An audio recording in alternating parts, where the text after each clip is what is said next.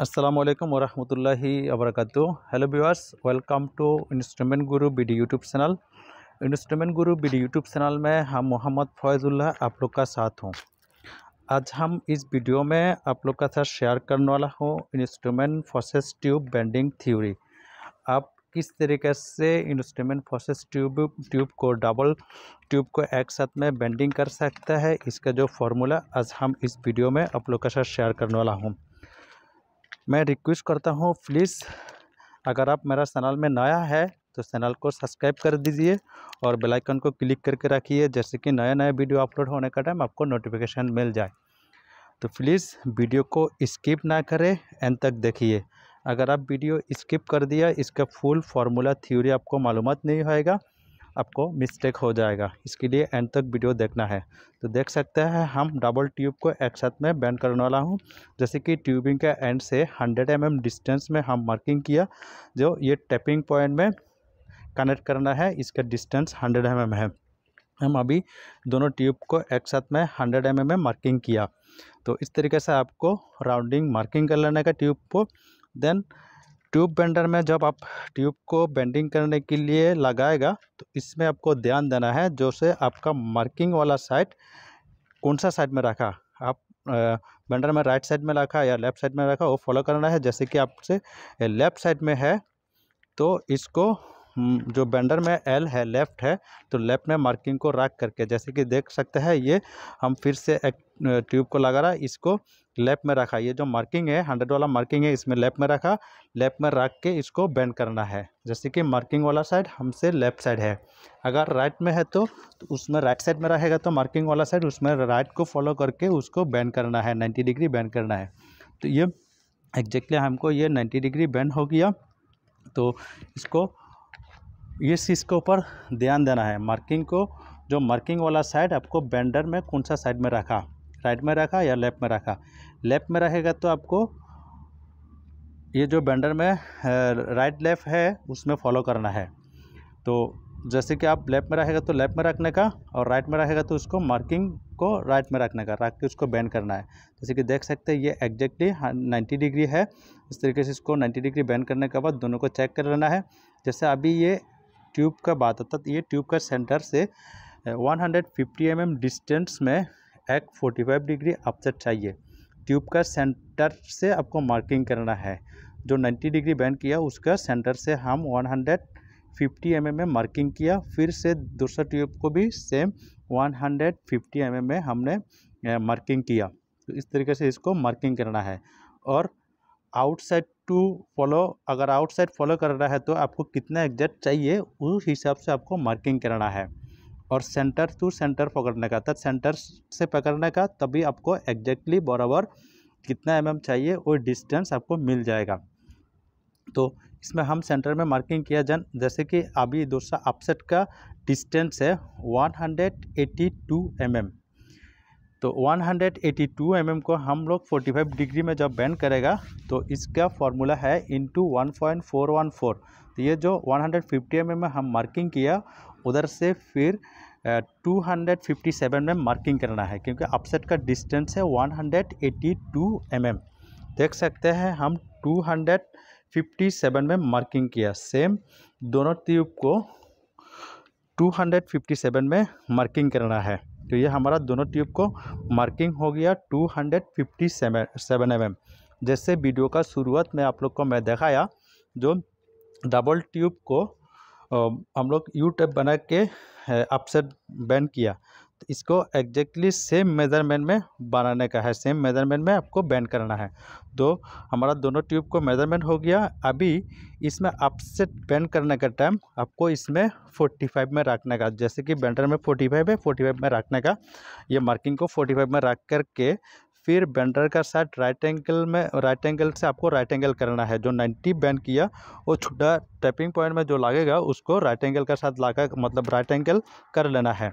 अगर आप right angle नहीं किया उसको आ, मतलब स्ट्रेट नहीं करके टेढ़ा करके आप बैन करेगा तो इसको आप बाद में सीधा नहीं कर सकता है। इसके लिए एग्जैक्ट राइट एंगल करके 45 डिग्री में बैन करने का। तो इसको ऊपर ध्यान देना है, जैसे कि अब ये हमारा 45 डिग्री का बैंड हो गया। एक जैसे दूसरा ये और एक इसमें अपसेट करे बैंड करेगा। इसके लिए सेम नेक्स्ट बैंड में भी जी आपको 45 फॉलो करना है। 45 में रख करके इसको 45 डिग्री बैंड करना है। जैसे कि बैंडर में इसमें 45 है, उसमें 45 में ये जो मार्किंग किया ट्यूब को, उसको 45 में रखने का। 45 में रख करके फिर इसको राइट एंगल का साथ सीधा करके इसको 45 डिग्री में बैंड करने का। तो 90 डिग्री में जब आप बैंड करेगा, उसमें आपको राइट एंड लेफ़्ट फॉलो करना है, क्योंकि उसको अगर राइट लेफ़्ट फॉलो ना किया तो आपको बड़ा छोटा हो जाएगा।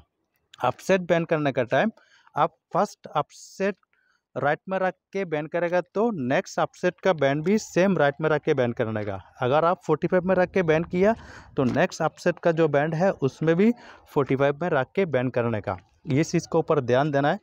तो जैसे कि हम पहला अपसेट भी 45 में रख करके बैंड किया, इसके लिए नेक्स्ट अपसेट जो हम बैंड कर रहे हैं, उसको भी सेम 45 में रख के बैंड कर रहा है। तो दोनों बैंड का ऊपर आपको ध्यान देना है। अगर एक एक अपसेट आप राइट में रखा, दूसरा अपसेट आप 45 में रख के बैंड कर दिया तो आपको यह अपसेट का जो डिस्टेंस है, वो बड़ा छोटा हो जाएगा, आपको एग्जैक्ट नहीं मिलेगा। इसके ऊपर ध्यान देना है, क्योंकि बहुत सारा दोस्त लोग को मिस्टेक हो जाता है। तो अगर ये मिस्टेक ना करें। आप पहला अपसेट 45 में रखा सेम नेक्स्ट अपसेट भी 45 में रख के बैंड करना है। जैसे कि अभी हम दो ट्यूब को बैंड किया आपको देखा एग्जैक्टली मिला। सो so, दोस्तों अभी जो ट्यूब फ़र्स्ट वाला 90 बैंड किया हम लोग वही 90 से 700 90 एम mm डिस्टेंस में दूसरा एक 90 डिग्री बैंड चाहिए। तो इसके लिए हमने मार्किंग किया 790 एम mm डिस्टेंस में। तो इसको सेम लैप को फॉलो करके जैसे कि ये मार्किंग वाला साइड बेंडर में हम लेफ़्ट साइड में रख के बैंडर में लगाया तो इसमें लेफ़्ट में फॉलो करना है, लेफ़्ट में फॉलो करके उसको 90 डिग्री बैंड करना है। ये 90 डिग्री बैंड करने का तब ये चीज़ के ऊपर आपको ध्यान देना है। जैसे अगर हम इसको राइट में रखता था, जो मार्किंग वाला सेट तो इसमें बैंडर में जो राइट है आर है तो उसको आर वाला का तो राइट है तो राइट को फॉलो करके उसको बैंड करना पड़ता है। तो लेफ़्ट में जब हम रखा, इसको लेफ़्ट में फॉलो करना है तो ये चीज़ को ऊपर ध्यान देना है राइट और लेफ़्ट को फॉलो करके आपको उसको 90 डिग्री बैंड करना है एग्जैक्ट आपको मार्किंग में आपको 90 डिग्री मिल जाएगा। इसको बेंडर में लगा के बैंड करने का पहले आपका जो जो साइड को आपको बैंड किया, उसको राइट एंगल का साथ सीधे रखने का राइट एंगल का सीधे रख के उसको बैंड करना है। और बैंड करने का पहले आपको एक्सिस ध्यान देना है आपको कौन सा साइड में, किस तरीके, कौन सा पोजीशन में कौन चाहिए 90 डिग्री वही सीज को फॉलो करके बैंड करना है। अगर ट्यूब को आपको फॉलो नहीं किया, कौन सा साइड में आपको चाहिए बैंड कर देगा तो उसको आपको सीधा नहीं कर सकता है। तो इसमें कोई डिस्टेंस माइनस करने का ज़रूरत नहीं है, क्योंकि दोनों सेम डिस्टेंस में हम 90 डिग्री बैंड कर रहा है। इसके लिए हम सेम मेज़रमेंट में दो ट्यूब को हमने एक साथ में बैंड किया।